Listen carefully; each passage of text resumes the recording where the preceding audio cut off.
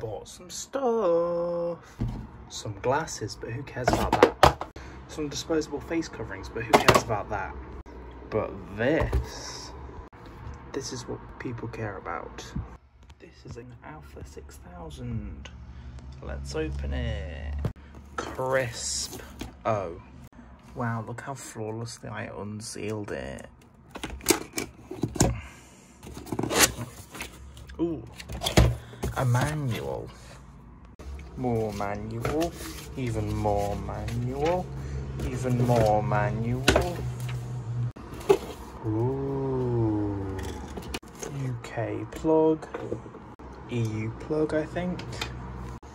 Charging brick, battery, eyepiece. Oh, micro USB. Oh, a strap that's going to take hours to install. And finally, the brilliant, the amazing, the absolutely fantastic Sony Alpha 6000. Look how tiny the lens cap is. The flash pops up.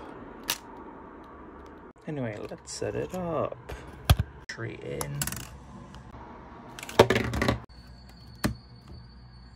Install the strap.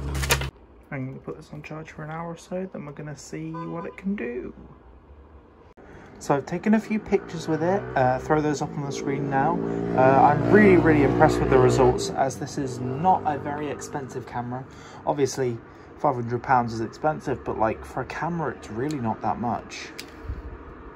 So I'm going to go take it out on another photography trip and I'm going to show you how it turns out and then I'm going to show you the video quality and then yeah I'll make my final judgment on whether it was worth what I paid for it or not.